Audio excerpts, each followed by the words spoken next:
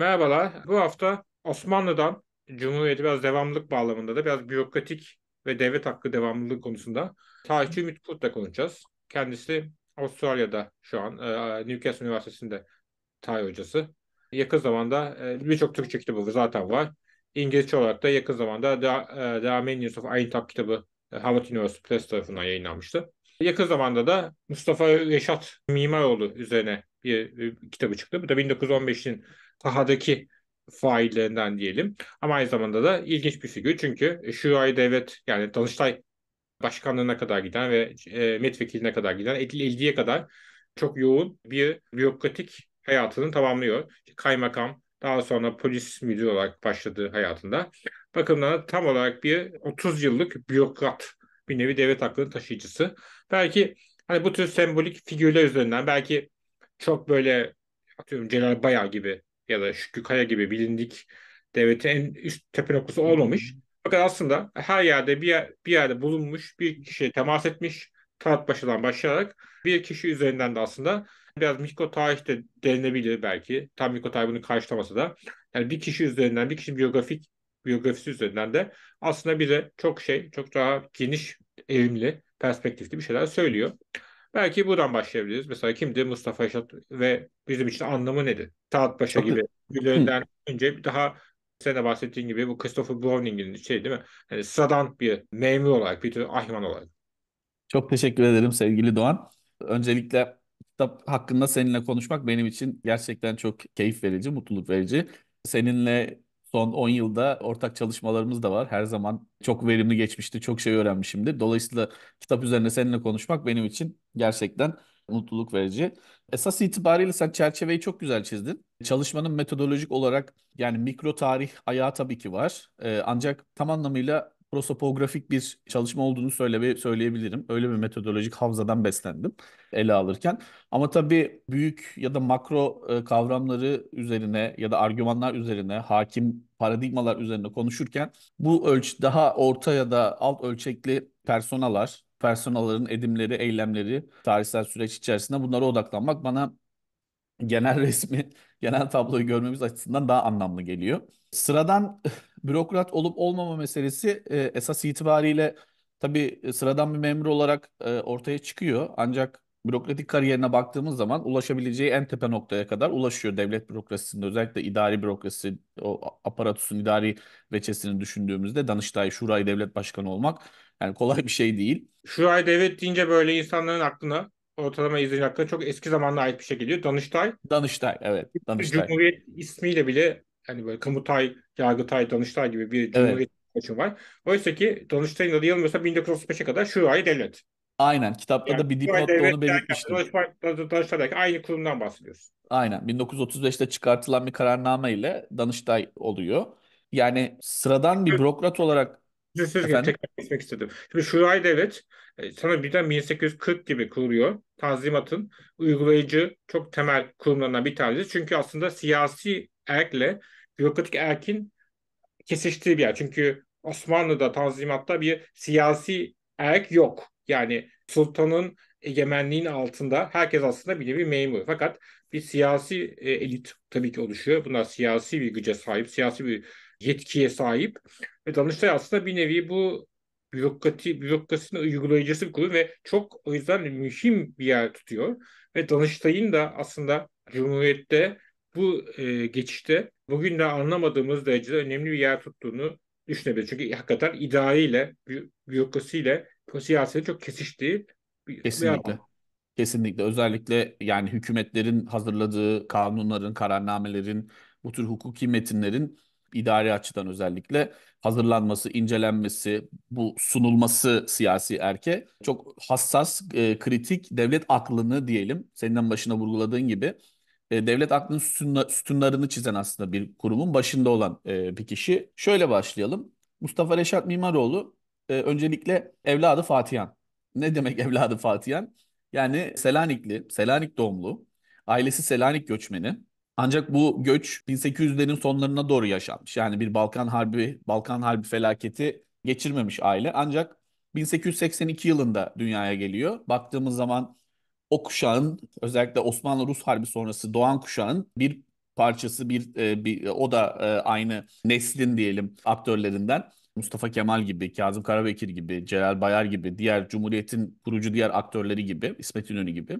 Memur bir ailenin çocuğu, askeri, sivil askeri bürokrat memurların çokça olduğu bir ailenin çocuğu. İstanbul'da özellikle ailesi Ermenilerin yoğun olarak yaşadığı Üsküdar Boyacıköy bu mahallelerde, bu semtlerde oturmuş ve buralarda Ermenilerle tanışmış, Ermeni diliyle ilk defa tanışmış, dile bir aşinalığı olmuş e, komşuluk ilişkileri sayesinde o kültürü, o toplumu tanımış. Bütün bunları söylememin sebebi şu.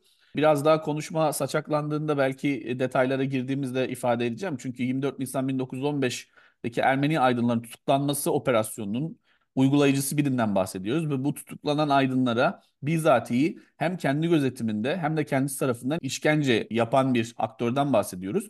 Bu kişinin çocukluğu böyle bir ortamda geçiyor. Ben buradan şunu söylemeye çalışıyorum. Hassaten geliştirdiği bir Ermeni nefreti yok. Yani ona ona enjekte edilmiş bir Ermeni nefretiyle e, malul bir e, personadan, bir aktörden bahsetmiyoruz baktığımızda.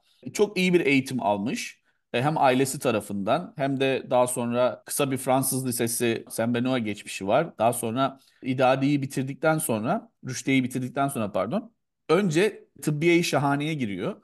Orada doktor olamayacağını, ona göre bir meslek olmadığını anladığında daha sonra mülkiyeye geçiyor. Mektebi mülkiyeye geçiyor. Mektebi mülkiyedeyken tabii o dönem baktığımızda 1896-97 Osmanlı-Yunan Harbi. Burada ciddi anlamda işte Na Namık Kemal'den, Ziya Paşa'dan bu arada Namık Kemal'le Mustafa Reşat Mimaroğlu'nun babası e, ciddi dostlar. Bu genç Osmanlılar dediğimiz gruptan tabii ki Mektebi Mülkiye'yi de bildiğimiz gibi o dönem İttihat ve Terakki 1889'da kurulduktan sonra oradaki vatan vatanseverlik, hürriyet, eşitlik, bu Fransız devriminin mottoları bunlarla tanışıyor. Bunlarla ilgili okumalar yapıyor. Arkadaşlarıyla bunlarla ilgili fikir alışverişinde bulunuyor. Ancak baktığımızda o dönemde Abdülhamid'in hem bu okullara yönelik ve İttihat ve Terakki özelinde ve kendisine muhalefeti muhalefeti bastırmaya yönelik hareketlerinden, eylemlerinden Mustafa Reşat Mimaroğlu'nun etkilenen ve işte Trablus'a ya da imparatorluğun daha ücra köşelerine sürülen birçok öğrenci var. Ama kendisi böyle bir muameleye maruz kalmıyor. Çünkü hem babasının hem ailesinin etkisiyle o dönem siyasi tartışmalardan uzak duruyor. Biraz böyle pragmatik bir şeyi var, e, yapısı var. Mülkiyeyi bitirdikten sonra bütün hedefi, amacı bir memuriyet elde edebilmek. Bunu hatıratında da anılarında da gördüklerim ve geçirdiklerimden dört cilt olarak yayınlamayı düşünmüş. ancak iki cilt vefa, ömrü vefa etmiş. 1946 Ziraat Bankası matbaasından çıkıyor. Üçüncü cildini daha sonra Ali Birinci 2020 yılında bu hatıratı tekrar yayına hazırladı ve üçüncü cildin hatıratın çok kısa zaten hacim olarak Mustafa Reşat Mimaroğlu'nun torunundan ve aile albümünü de ekleyerek tekrar yayınladı. Böyle bir memur olma hayali olan, e, böyle bir gelecek kariyer patikası çizen biri kendisine. Jön Türk devriminden devriminden sonra ilk yaptığı şey İttihat ve Terakki'nin Beylerbeyi Kulübü'ne üye olması. Çünkü İttihat ve Terakki mensubu olursa ciddi bir memuriyet alacağının farkında. Bu da gerçekleşiyor. İttihat ve Terakki üyesi oluyor Beyler İstanbul Beylerbeyi Kulübü'nün. Ve hemen akabinde 1909 yılında Erzurum'un Nabravan ilçesine kaymakam olarak atanıyor ve böylece bu memuriyet serüveni, kaymakamlık serüveni başlıyor. 1908 öncesine, devrim öncesine geldiğimizde siyasete oldukça mesafeli, bütün o siyasi yani o siyasi kaos ortamını düşündüğünde bunlardan tamamen uzak, kendi köşesinde zaten Abdülhamid'in şeyinde çalışıyor. Hazine hazinesinde bir memuriyet alıyor baktığın zaman. Ama bütün bu siyasi tartışmaların çok ötesinde, arkasında durduğunu, izlediğini görüyoruz e, baktığımızda. Yani ne o muhalif İttihat ve Terakki'nin başını çektiği, ne o muhalif hareketin içinde, ne e, ne bileyim işte ne Paris'te, ne Cenevre'de, ne Mısır'da, tamamen İstanbul'da imparatorluğun bir yani sadaretin bir makamında çalışıyor. Böyle bir memur memuriyet hayatı var. Daha sonra bu kaymakamlık görevleri Erzurum ve çevresinde devam ediyor. 1913'te Antakya mutasarrıfı ya da kaymakamı demek lazım arada. Orada görev yapıyor. İstanbul'a dönüyor. İstanbul'a döndükten sonra bir süre Darülfünun'da coğrafya dersleri veriyor. Akabinde kritik bir dönem onun için. Hem memuriyet hayatı için hem de onu tarihsel olarak belki hem bu kitabın ana aktörü yapan, konusu yapan dönemeçe geliyoruz. O da Mustafa Reşat'ın özellikle Bedri Bedri Bey'in o dönem Emniyet Ümumiye'nin başında ve Kara Kemal'in de Kara Kemal'e de yakın bir şahsiyetten bahsediyor Mustafa Reşat. Onların referansıyla diyelim Dahiliye Nezaretine bağlı siyasi şubede, kısmı siyasi dediğimiz şubede bir polis memurluğu olarak görevine başlıyor. Ve bu görev bu görevde yani kısmı siyasideki temel görevi imparatorluğun içindeki zararlı ya da meşru olmayan, yasal olmayan unsurların hareketlerini takip etmek. Bunları kontrol altına almak. Aslında burada meşru olmayan ya da imparatorluğun e, içindeki bu tür unsurlardan kasıt baktığında Ermeniler daha çok. Çünkü Rumlara bakan ayrı bir şube var. Ee, Osmanlı Yahudilerine bakan yine e, kısmı siyasinin içinde ayrı bir şube var. Ama Mustafa Reşat Bey hasreten Osmanlı Ermenilerinin özellikle siyasi faaliyetleri olan Ermenilerin dosyalarını tutmak, hareketlerini, günlük hareketlerini takip etmek ve onlarla ilgili işte dosyalar hazırlamak ki bu dosyalar zaten 24 Nisan 1915'e geldiğimizde bu tutuklamaların temelini oluşturacaklar. Bu dosyalar hazırlanan kişiler tutuklanacaklar.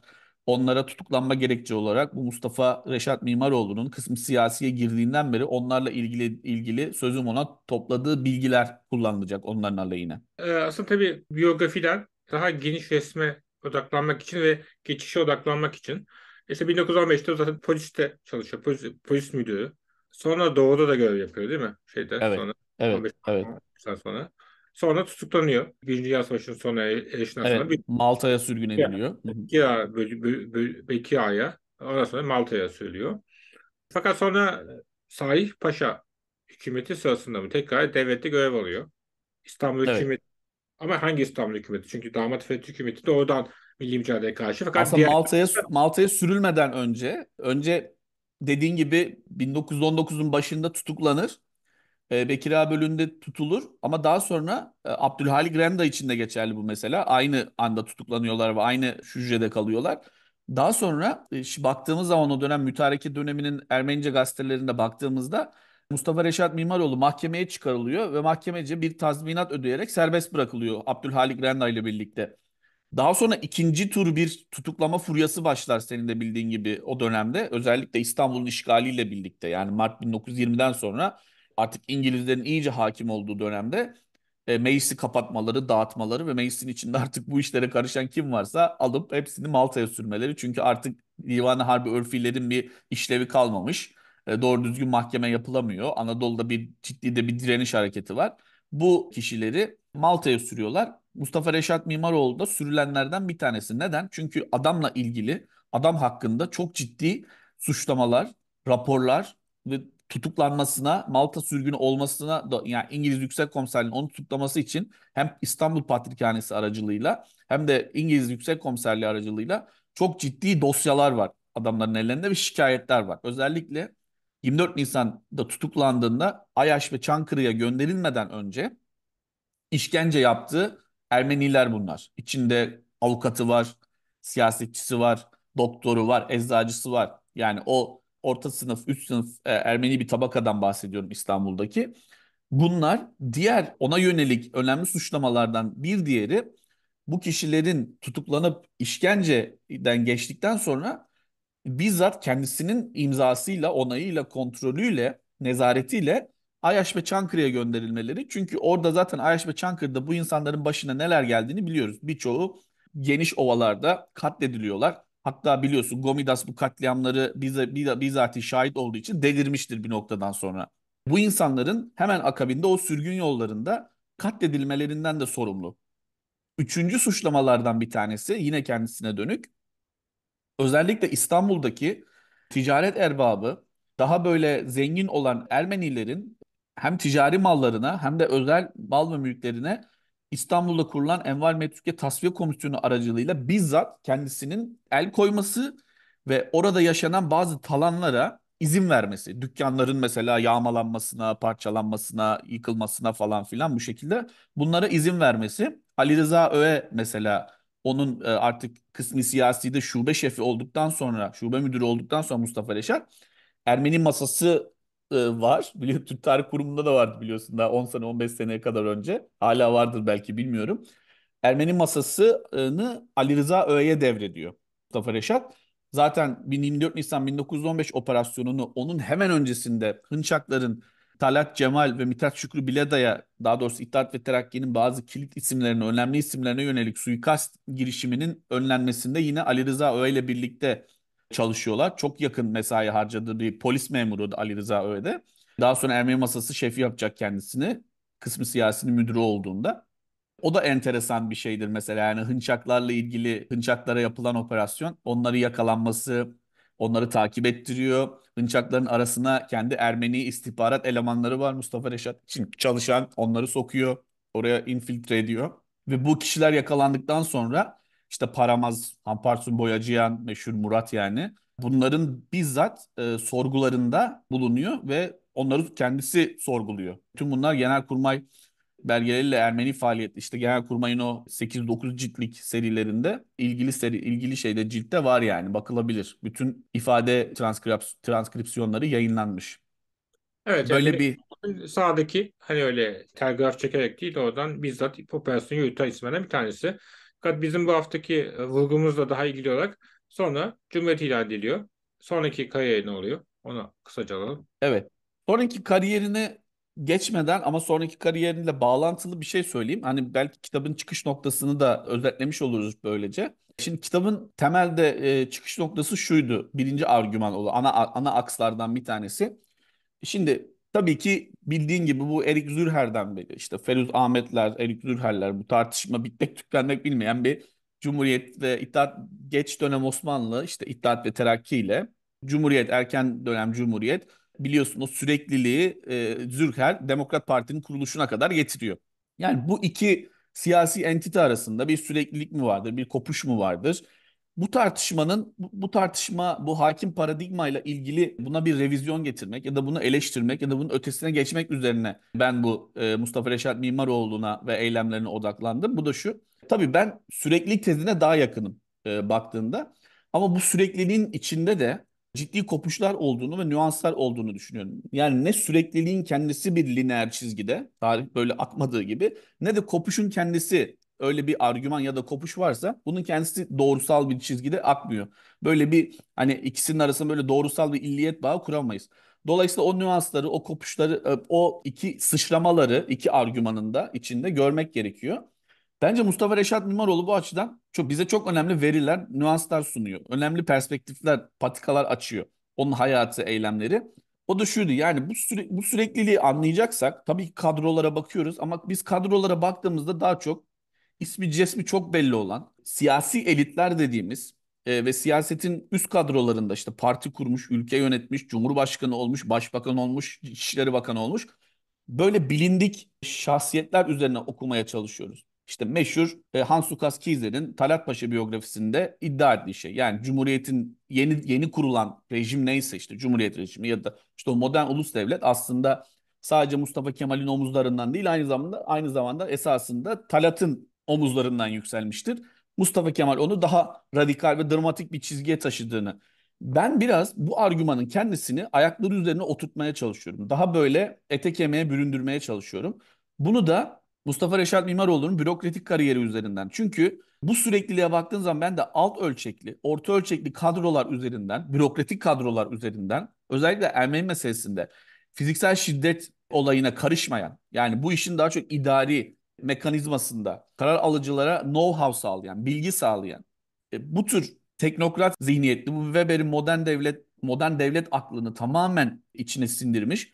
Üstüne itaati moral ve ahlaki bir etik kodu haline getirmiş. Bürokratlara e, odaklanmaya karar verdim. Bu sürekliliği görebilmek için. Bu kadrolara odaklanmaya e, odaklanmaya çalıştı. Mustafa Reşat Mimaroğlu burada tabii ön plana çıktı. Onun gibi başka isimler de var bence. Çalışılabilecek üzerine biyografileri yazılabilir ya da bu kitabı ya da bu kitabı aşan çalışmalar yapılabilir. Baktığımızda şöyle bir şey görüyoruz Doğancığım. Cumhuriyet'in ilk 30 yılının 40 yılının kadrolarını e, kadrolarını teşkil eden e, bu orta ölçekli, alt ölçekli biraz da ortanın üstü kadrolara baktığımızda bürokratik özellikle devletin bürokratik aparatusunu teşkil eden çoğunun neredeyse tamamının diyeyim Talat Paşa'nın tornasından çıktığını görüyorsun. Yani onun Dahiliye Nazırı iken daha sonra sadrazam olduğu bir dönem de var biliyorsun. Hem sadrazamlık hem de Dahiliye Nazırlığını aynı anda yaptı. Onun güvendiği, itimat ettiği, iş bitirici, tamamen itaat eden, onun emirlerini sorgulamayan, sorgulasa bile onların gayet erdemli, doğru e, ve bu ülkenin ve vatanın selameti için alınmış kararlar olduğunu tamamen sindirmiş ve bunu dediğim gibi bunu adeta bir etik bir kod haline getirmiş. Ve bunu o bulunduğu organizasyonun, işlev gördüğü organizasyonun bir organizasyon kültürü haline getirmiş memurlardan bahsediyoruz. Mustafa Reşat da bunlardan bir tanesi. Dolayısıyla bu süreklilik meselesini eğer daha böyle somuta indirgem indir, e, somut düzlemde görmek istiyorsak bu kadrolara bakmanın daha anlamlı olduğunu düşünüyorum. Ve Mustafa Kemal de çok net bir biçimde Talat'ın çalıştığı, beraber mesai harcadığı, onun tornasından çıkmış ya da Talat Paşa Okulu'ndan çıkmış olan mezunları onlara güvendiğini, onlara e, onlarla çalıştığını, bürokraside ve devletin diğer e, önemli kurumlarında önemli görevler verdiğini ve itibar ettiğini görüyorsunuz. Bu Enver söz konusu olduğunda aynı şeyi gör, görmemiz mesela zor. Ya da İttihat ve Terakki'nin Enverci kanadına baktığımızda aynı şeyi göremiyoruz. Tabii bu isimlerin önemli özelliklerinden bir tanesi de neden bu kadar üst düzey e, görevlere gel geliyorlar? Bu itimat nereden oluşuyor? Mustafa Kemal'e yönelik muhalefetin işte bu terakkiperver fırkası ikinci ikinci gruptan terakkiperver fırkasına evrilen daha sonra istiklal mahkemeleriyle tamamen tasfiye olan o ekibin de dışında olması Mustafa Reşat'ın. O siyasi süreci de iyi okuması baktığımız zaman. Dolayısıyla kitabın önemli çıkış noktalarından bir tanesi buydu. İkincisi Ermeni meselesi. Mustafa Reşat'ın anılarına baktığımızda, ona yönelik suçlamalara baktığımızda, 1915 ve 17 arası eylemlerine baktığımızda ve özellikle iki ciltlik hatıratında Ermeni meselesini ayırdığı o geniş sayfalara baktığımızda bu adamın daha Esat Uras'tan önce daha senin de bu konuyla ilgili çok ciddi bir makalen vardı. Journal of Balkan and Near Eastern, Near Eastern Studies'de çıkan o devlet söylemindeki inkarcı pozisyonun tarihçesi, konsolidasyonu bunun temellerini atan, sütunlarını atan bürokrat olduğunu görüyoruz Mustafa Reşat'ın. Onu takip eden işte Yusuf Alaçoğlu'lar, Hikmet Özdemir'ler, Bilal Şimşirler, Esat Turas zaten aynı dönem mesai arkadaşı, kısmı siyaside birlikte çalışmışlar.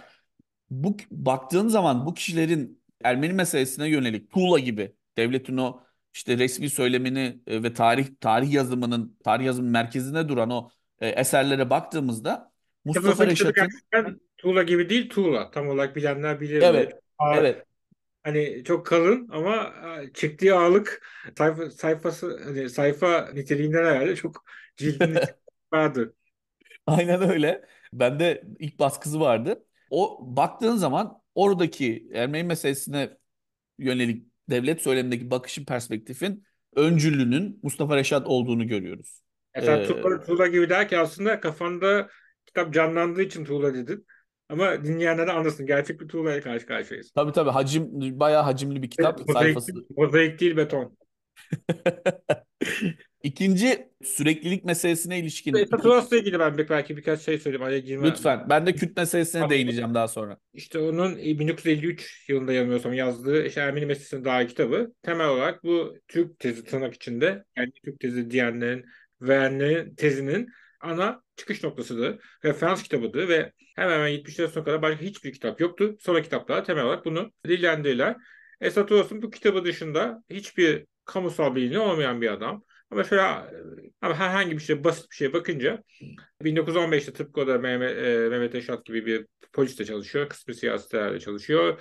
O da Ermenice biliyor çünkü Amasya doğumlu. Aslında İran köke, İran'da Azerisi diye bir şey geçiyordu. Hani oraya göçmüşler diye. Artık tam neyse bir şekilde Ermenice'ye hakim. E, muhtemelen Amasya'da büyüdüğü için belki dediğim gibi başka backgroundlarından dolayı. Bu sebeple de aynı zamanda bu İttihatçı'da 1916'da yazdığı şeyinde Mehmet Yaşat'la beraber kitabın hani kendilerini uluslararası kamuoyu anlatmak için yazdıkları kitabın iki isimsiz yazarından bir tanesi bildiğim Aynen. kadarıyla. Sonra bilinen bir varlığı yok. Bilinen varlığı ama herhangi bir şey meclisteki eski parlamenterler şeyine bakınca 1923'ten 1950'ye kadar 27 yıl ağırlıksız milletvekili bu adam. Aynen. 20 yıl milletvekili çok inanılmaz bir şey. Yani böyle bayağı orada memur gibi milletvekili oluyor. Ve Kesinlikle. bu adamın şekilde biliniyor. Yani tam bir yani Türkçesi nedir bilmiyorum. Backbench. Back, tam bir backbench olarak bir fonksiyonu olması gerek. Hani Çok güzel. 27 yıl aralıksızlık milletvekili. Aslında bakınca da bayağı böyle 20 yıl milletvekili yapan insanlar var. Avni Doğan var. 35 yıl Evet, milletvekili yapıyor. Hüseyin Avni Doğan. Evet. Arada da Ankara valisi, vali yapıyor. Hani bu adamların sırrı ne acaba Avni Doğan'ın? Çünkü şey milletvekili oluyor. Arada bir Ankara vali var sonra tekrar milletvekili oluyor. 60'lara kadar milletvekili. Mustafa Reşat Mimaroğlu'nun kariyer patikasına baktığımızda şöyle dönemeçler var. Tabii işte bahsettik mutasar, kaymakamlık, mutasarrıf, valilik. Arada bir polis müdürlüğü ve, o, ve bulunduğu birimin şefi olması. Daha sonra özellikle 1915-16 arasındaki faaliyetleri, yaptıkları o tırnak içindeki başarılı operasyonlar tabii Talat'ın gözünden kaçmıyor. Talat Paşa kendisini Viyana'ya gönderiyor. Polis eğitimi bununla ilgili orada ne oluyor, ne bitiyor işte çeşitli bilgiler alması falan e, için. Döndükten sonra taltif ediliyor. Nasıl taltif ediliyor? Vali olarak işte Bolu valisi olarak atanır. Mustafa Reşat Mimaroğlu. Bu arada Bolu'da yine tehcir işinin tamamlam nihayete erdirilmesinde de çok işlevsel bir görevi var. Daha sonra işte Sinop Valiliği, Aydın Valiliği, Tokat Valisi, akabinde Doğu'ya yaptığı e, iki senelik bir teftiş, Doğu teftişi. Oradan döndükten sonra sunduğu raporlar, o sunduğu raporlarda 1938 Dersim Teltelesi'nin aslında genel bir o, hem devletin o bölgeye baktığı o medeni medenileştirici kolonyal söyleminin yine yapı taşlarının oluştuğunu görüyoruz. Mustafa Reşat'ın İçişleri Bakanlığı gönderdiği layihalarda ve 1938'de Dersim'e yönelik de ciddi raporları var. Oradaki insanları işte Kürt kökenli insanları tamamen bir kolonyal vali e, şeyiyle söylemiyle tanımlaması, onları böyle ehlileştirilmesi ve medenileştirilmesi gereken unsurlar olarak tanımlaması. Yine o devlet söyleminde Kürt sorununun da temelini teşkil eden aktörlerden biri olduğunu düşünüyor. Çünkü ondan sonra o bölgeye giden şey müfettişlikler, genel müfettişlikler aynı çizgide onun yazdığı layihalardan, raporlardan oldukça faydalandıklarını görüyorsun. Oradaki görevini de yine tırnak içinde başarıyla ifa ettikten sonra yine bir valilik dönemi başlıyor. İşte Zonguldak, daha sonra Adana Valiliği. Adana Valiliğinden sonra Danıştay Tanzimat Dairesi birinci başkanı. 4-5 yıl orada çalıştıktan sonra Danıştay Reisi. Danıştay Reisliğinden emekli olduktan sonra İsmet İnönü'nün teşvikiyle bir dönem İzmir Milletvekilliği. İzmir Milletvekilliğinden sonra 1942-43 arası çok önemli bir görev yine. Cumhuriyet Halk Fırkası'nın İstanbul'daki il başkanı oluyor. Oradaki görevinden sonra da Ziraat Bankası'nın mütevelli heyetine giriyor. Bu detayları vermemin sebebi şu. Devletin bu tür payelerine mazhar olan bir bürokrat bu. Ama bu çizgide olan, bu patikayı izleyen, bu e, payelere erişen birçok bürokrat var onun gibi. Yani bu bir Osmanlı bürokratı son tahlilde. Emperyal bir mirastan, emperyal bir çerçeveden, emperyal bir akvaryumdan çıkmış bir Osmanlı bürokratı. Onun gibi Zeynel Abidin Özmen mesela bir diğer isim. Bu tür bürokratların adı sanı çok fazla bilinmeyen, orta ölçekli dediğim gibi daha alt orta ölçekli bürokratların, self-made o anlamda bürokratların devlete yaptıkları bu hizmetlerin karşılığını nasıl aldığını bu kariyer patikalarından izleyebiliyoruz. Bu çok benzer bir, bir kariyer patikası, patikasıdır baktığın zaman. Yani Esat Uras için de bu böyle olmuştur.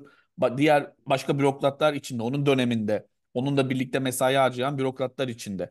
Ve genelde bu bürokratlara baktığın zaman dediğim gibi Talat'a yakın, Talat'ın birlikte çalıştığı, Talat'ın yani güvendiği isimler olduğunu görüyoruz. Bu adamın önemli eylemlerinden bir tanesi de dediğim gibi bu Kürt Doğu bölgelerini, Kürtlerin mes- yoğun olarak meskun olduğu bölgelere yaptığı bir buçuk iki senelik bir teftiş. İlginç bir adam bu. Şöyle bir etnograf edasıyla neredeyse bu bölgelere dair topografik, kartografik, bu insanların e, günlük hayatına ilişkin kullandıkları dil, din, etnisite, mezhep yani gündelik hayatlarının bütün detaylarına ilişkin veriler, sayısal veriler topladığını görüyoruz. Ve bunların hepsinin raporlarında işlediğini görüyoruz.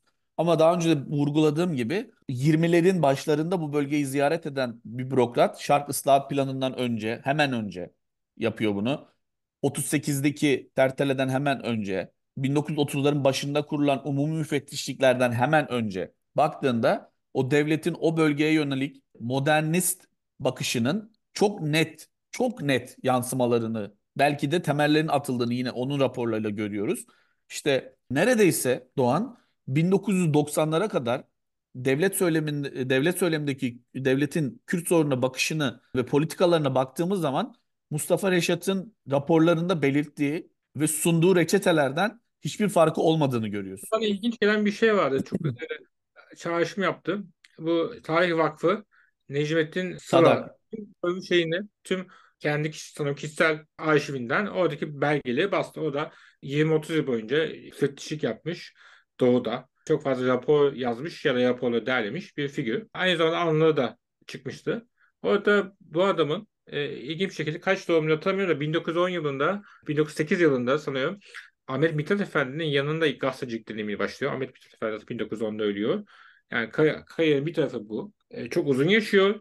1987 falan gibi ölüyor ve o biyografik bilgide şey notu vardı. 83 yıl, 1983 yılında Milliyetçi Demo Demokrasi Partisi'ne milletvekili aday, aday aday oluyor. Yani bir yandan da hani 1983 hala devletin partisinde bir şekilde bir e, entegrasyon evet devam ediyor. Yani, e, 1910'da başlayan bir şeyin, hikayenin 1983'te hala bir devamlılığı görmek beni bayağı ikitmişti. Hani keşke bir hafta şey öbür hafta olan bir filmin konusu olsa bu adam demiştim. Evet, evet. İşte çok güzel bir örnek verdin. İşte İttihat ve Terakki, Cumhuriyet devamlılığını ya da sürekliliğini bence bu tür figürler üzerinden ve bu tür figürlerin CV'leri üzerinden okumak daha böyle anlamlı gibi geliyor. Daha böyle o argümanları ayaklarının üzerine otur, oturtuyormuşuz gibi geliyor bana. Bir de şöyle bir mesele var. Yani bizim 1915 ile ilgili literatüre baktığımızda biz bu meselenin daha çok şiddet, fiziksel şiddet ve tabii bir 1915 soykırımının bir kanıtlama çabası. Sürekli bu devam ediyor. Belgesini göster. Bunu iddia, yani niyet, unus, kasıt nerede burada falan. Bence bu çalışmanın ben aslında bin, e, soykırım ve failler kitabımda biraz bunun e, eskizlerini çizmeye çalışmıştım. Biraz oraya oraya çomak sokmaya çalışmıştım baktığında. Ama bu kitapla neredeyse elini kana bilmem neye hiçbir şekilde bulamamış. Tamamen masa başında oturan, kağıdıyla kalemiyle hareket eden, telefonuyla bir telefonuyla aynı Adolf Eichmann gibi bir telefonuyla o nasıl yüz binlerce, on binlerce Yahudinin Auschwitz'e o vagonlara tıka basa gönderilmesinin emrini nasıl verdiyse aynen Mustafa Reşat Mimaroğlu da bir masa başı faili olarak ciddi anlamda Ayman'la Nazilerin ve Nasyonel Sosyalist Parti için çalışan memurlar, istatistikçiler hiçbir biçimde elini kana bulamamış ya da bir Yahudi öldürmemiş. İşte Ayman'ın meşhur davasında kendisi söylüyor yani ben Yahudilerden nefret etmiyorum böyle bir şey yok antisemit değilim. Hatta ölüm kanman görmeye ben dayanamam böyle bir hani buna benim meşrebim e, şey yapmaz izin vermez. Bu okyanuslarda yüzen benzer personalardan tabii benzer personalar derken eylemleri, edimleri açısından söylüyorum bunu. Ya da şiddeti, belli bir şiddet formunu kuvveden fiile çıkaran bu fail kategorisi olarak kategorisi olarak söylüyorum bunu. Bu anlamda çalışmanın aynı zamanda e, böyle bir orijinal bir hasbelkader tarafı var. Yani bu kolektif şiddet meselesinin ya da soykırımların, etnik temizliklerin fiziksel şiddet veçesi yerine bu tür idari mekanizmalarla ve bu idari mekanizmaların başında olan çünkü bu ciddi bir kolektif bir şiddet mas bu ciddi bir e, şey gerektiriyor. Operasyonel güç gerektiriyor. İn, insan emeği gerektiriyor ve bir organizasyon gerektiriyor. Ve bu organizasyonun da tabii ki mükemmel bir şekilde bu dişlilerin hepsi çalışmıyor. Zaman zaman bu dişlerin bozulduğu, rayından çıktığı, tamir edilmesi gereken durumlar, olu epizotlar tabii ki oluyor.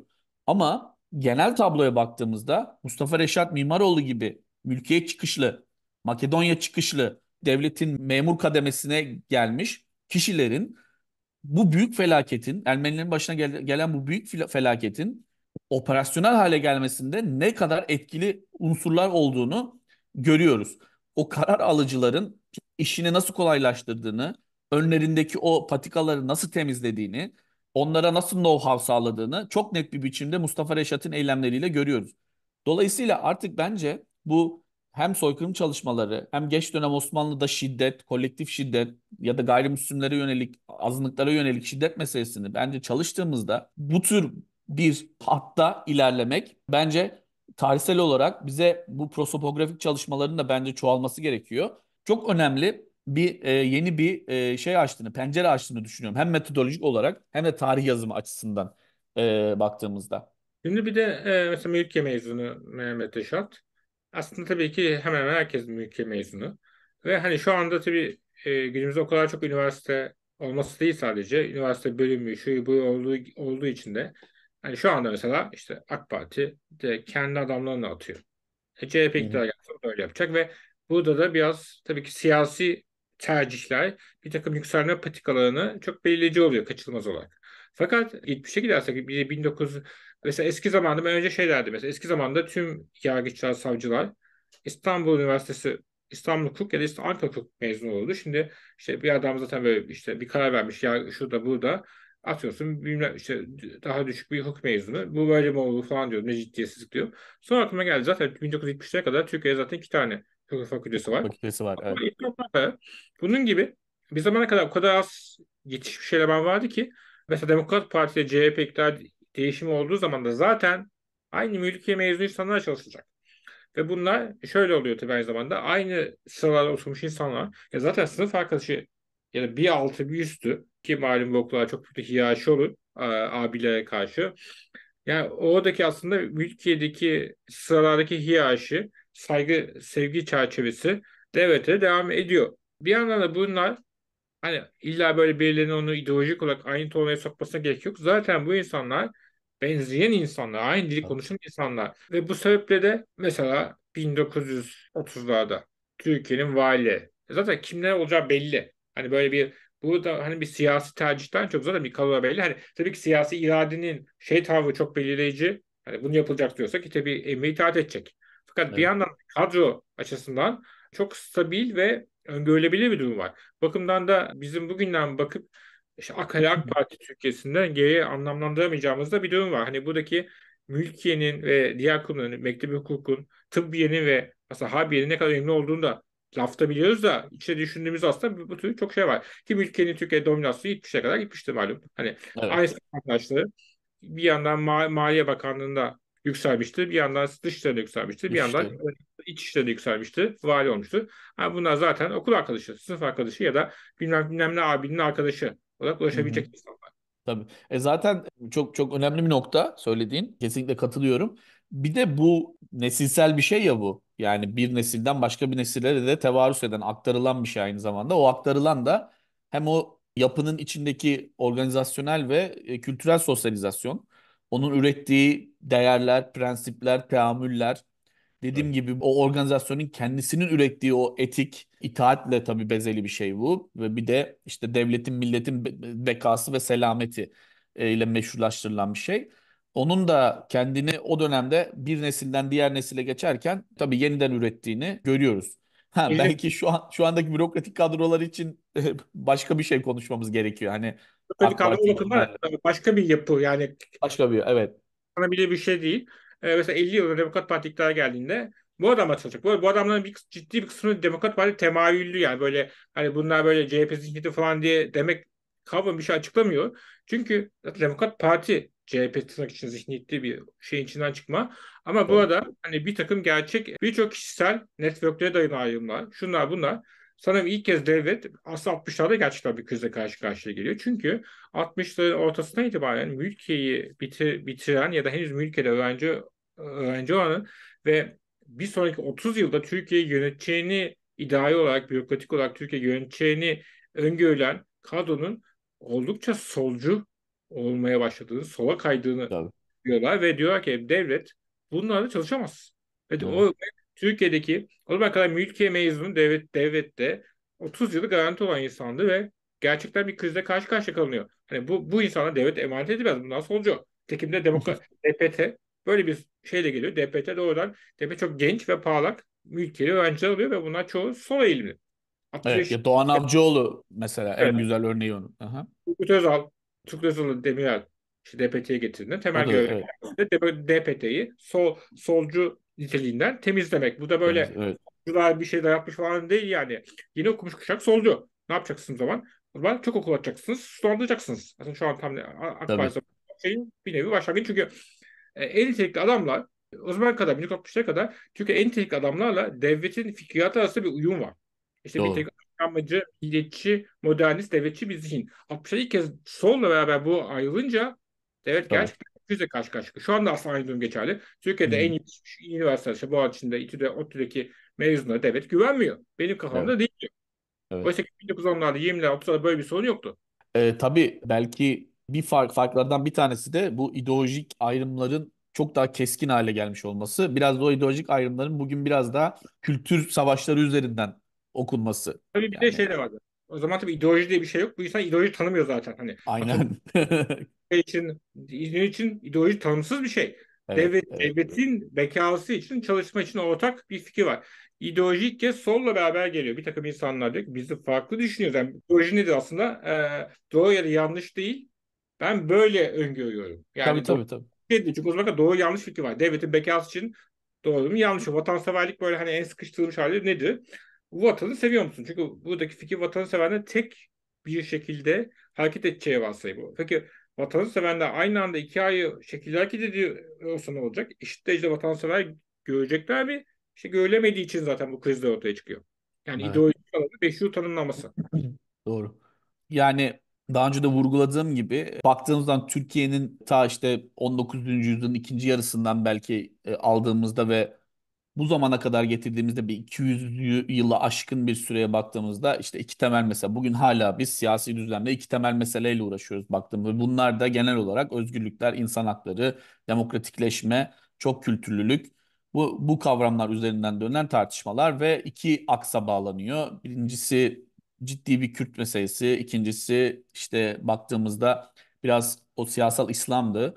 Şimdi o kendi hakim paradigmasını oluşturdu. Kendi iktidarının hegemonyasını yarattı. Tabii bir de e, bizim yine Avrupa Birliği ile olan ilişkilerde de baktığımızda önemli unsurlardan bir tanesi bu Ermeni meselesi. Ermeni soykırımının tanınması ya da tanınmaması meselesi.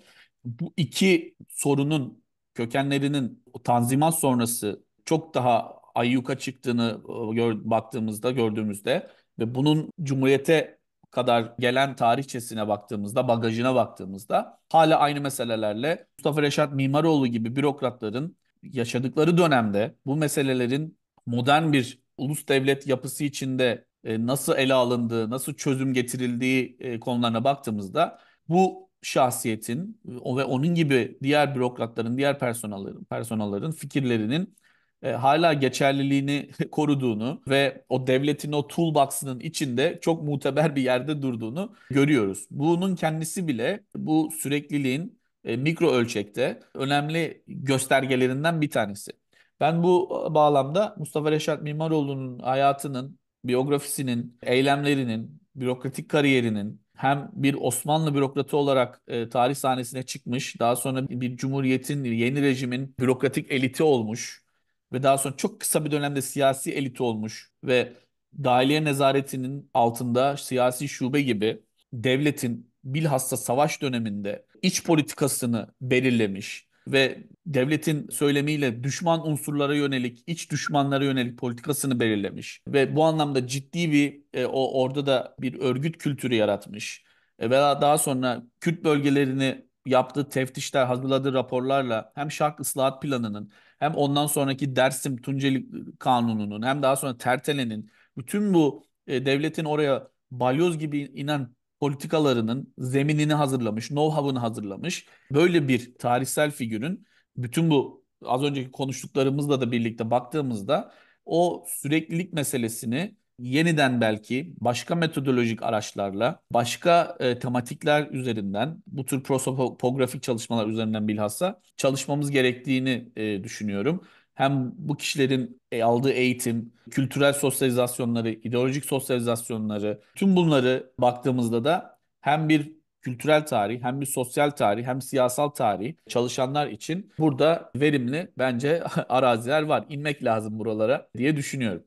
Evet. Tabii aslında Abdülhamit dönemi de kendi başına bir şey. Abdülhamit döneminden devamlılık. Çünkü aslında buna Demok Abdülhamit döneminde giriyorlar. Tabii tabii. Hazine-i Ve Hassa'da e, görevli Abdülhamit döneminde. ideolojik takım memnuniyetsizliklere rağmen vatan millet olunca oradaki ortak çabanın parçası oluyorlar ve oradaki bir kurumsal yapının üzerine Evet. oluyor. Ve aslında da e, istediği büyük tasfiyeyi Terakki gerçekleştiremiyor. Çünkü onlar aynı sonunda muzdarip. Kadro yok diyorlar.